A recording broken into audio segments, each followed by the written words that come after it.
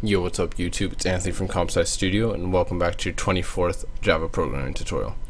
So in our last tutorial we learned about um, return types with methods and we basically returned a string type. But today we're just going to be doing we're going to be doing the same thing. We're just going to be using an integer instead and we're going to be doing a little bit of math so yeah. So if you guys don't like math, don't worry, it won't be that boring. It's not like we're going to be taking derivatives or anything. It's not going to be anything complicated. We're just going to be adding a couple numbers or multiplying or I don't know. I'll think of it when we go on.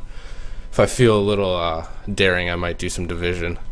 Uh, so yeah, let's first off let's make um, a variable and we'll call it int um, number. And the next thing we're gonna do is we're gonna make a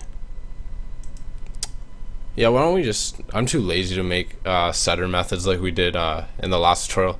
So we're just gonna make two number variables and we're gonna give them a value of 70 and we'll make another variable number 2 and set it equal to 10 so we're gonna make a method with a return type of integer and it's gonna just return yeah I feel daring today so we're gonna return the um, the answer of a division question. So I forget what it's called is it like what is it? Uh, addition is sum, subtraction is um, difference, uh, multiplication, I don't remember, whatever. Who cares? I'm going to be dividing two numbers. I'm going to be spitting the answer back at you guys. So, um, so let's make a public static int because we're going to be returning an integer value and we're just going to say get get answer. I don't, I don't remember what it is, but whatever. Nobody cares. Um, so basically what we're going to be doing, oh yeah, and we have to make these uh, variables static because um, we're going to be accessing them in a static method. So we just got to do that. There we go. Next thing we're going to want to do is we're going to want to return the um, answer to the division. So we're just going to go return.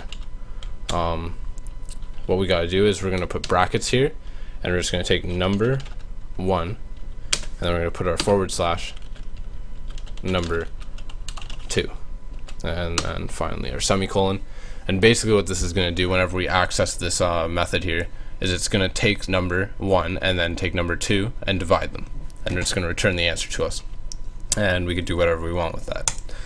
So in our main method here we're going to want to just go um, s out. And I'm going to make a little string. Let's say the answer is dot dot dot. And answer is spelt wrong but I don't care. Um, plus get answer. And then circle brackets. So yeah let's just run this thing. Let's see what 70 divided by 10 is. Oh it's a 7 good.